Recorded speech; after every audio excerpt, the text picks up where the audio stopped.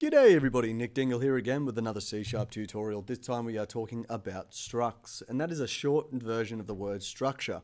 So in this video, we're going to look at what they are, how you create them, and how you use them. So let's get straight into it and have a look at what the heck is a struct. So let's put in a comment here and look at what they are. So a structure is the ability to create your own custom data type, and this is the greatest way to explain what it is. Because for example, in this video, I want to talk about, let's say, a car. All right.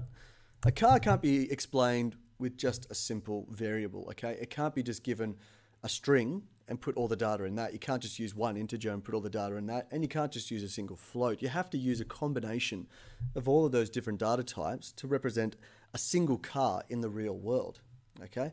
So a car can have things such as its brand, um, what else can it have? It can have its model, can have a year, so the year it was made or something like that, and you can also have like the price or the base price of a car. Now there's lots more things that go into making a car than just this, but this is a quick example. Now you can see for each of these different properties a car has, there's different data types involved. So for example, the brand would be a string, the model again would be a string, the year I would make that an integer just to keep it simple, and the price, I would make that a float so we can have fractional and large numbers as well. Not that we'd ever go above, say, an integer value. But anyway, so you can see that what makes up a car is a lot more complicated than just a single variable. And if I wanted to make one car, I'd make four variables. So I'm going to do that now. So I'm just going to quickly go here and I'm going to go string. And I'm going to use capitals for these um, variables. And I'll explain why in a moment. Okay, string int for year, and I want float for price. Okay, so that is making up four variables for a single car, and then I can simply use question and answer from the user. So let's quickly ask them the questions to fill it in.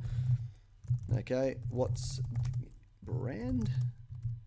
Okay, I don't know how I did that. And then we'll go brand equals console read line. And then we'll do the same thing for all the other properties there. So we'll go one for make, one for year, one for price. Okay, I'll just quickly change that up in front of your eyes. What's the model? It's a model. Whoa, that did not work. Out. Uh, what is the, what's the year? Okay, and because that's an integer, I have to do my int.Parse in front of console readline. And then the final one that I'm going to do is going to be what's the price? And we simply go price equals, and then we'll have to do float dot parse, like so. All right. So if I run this program, it's all well and good. We're asking for four different properties of a single car. Now let's say for an example, I have two cars. Well, then I'm going to have to go brand two, model two, year two, price two, and then do all that code again and I don't feel like it because I'm too lazy. So that's when structures are going to come in here.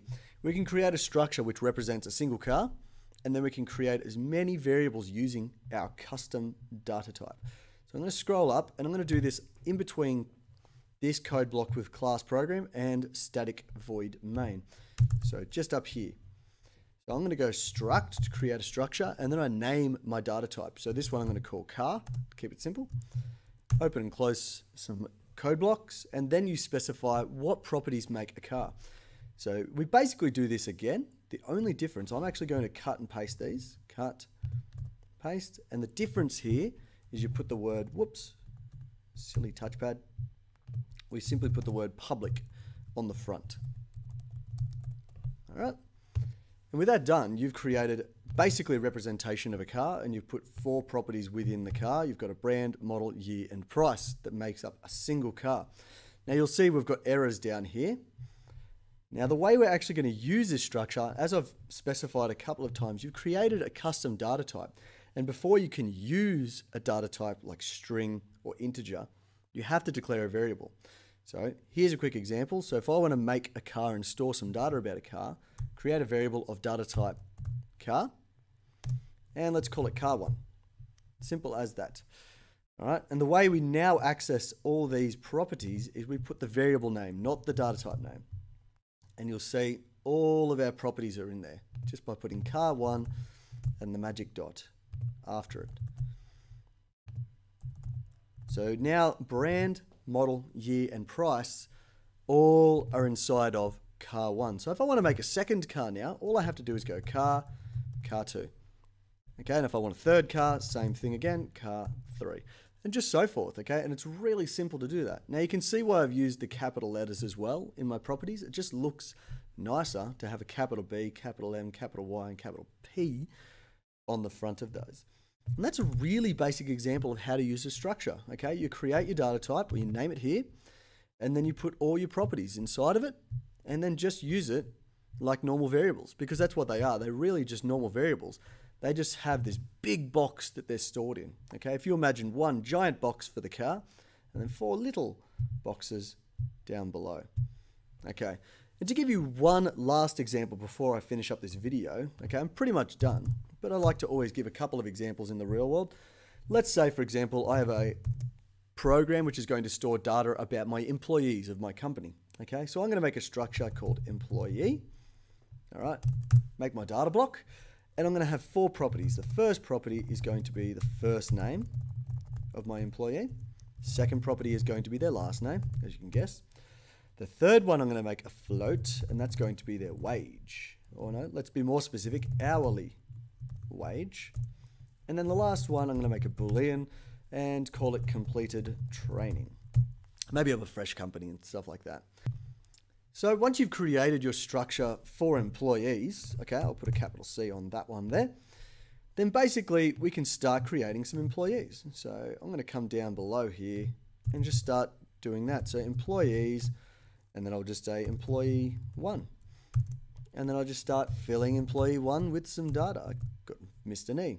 So first name, Nicholas. And see, again, just like variables, I can fill them up if I already have the data. Dingle. And this could come from the console like before. It could come from a text file. It could come from an Excel file. Come from anything really. Um, I'm going to give myself $35.70 an hour because I'm just that good. Now there's an error there, which I'll fix in a second, and I have completed the training. Just need to put an F because that's a float. And this is structures, guys. This is how you create them. Okay, up above is how you define them, and this is how you use them. Okay, I hope to help you out, and I hope you liked the video. And if you did, there's like, subscribe, and comment down the bottom. I'd love to hear from you. But otherwise, I'll see you in the next video where we're going to talk about arrays, and that's going to be a big one. So thanks very much for watching, everybody, and I'll catch you then.